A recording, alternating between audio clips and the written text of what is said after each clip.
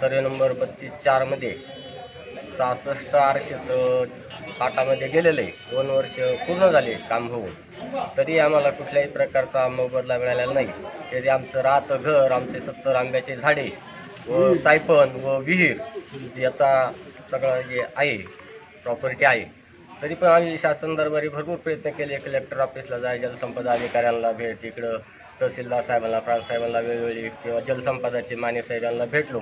पण आम्ही सहा महिने झाले मी यांना चक्रा मारतोय फार थकून गेलो. वर महसूल मंत्र्यांना सुद्धा निवेदन दिलं मंत्रालयातून सुद्धा.